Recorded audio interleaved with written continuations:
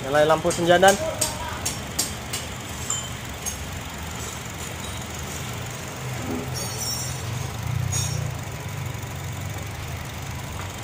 Poklem.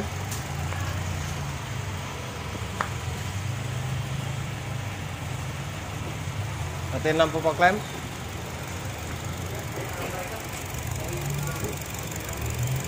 Ganti warna. Lagi.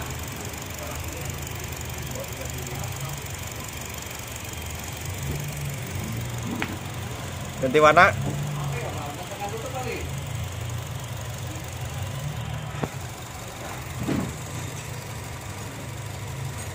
Ganti lagi nah.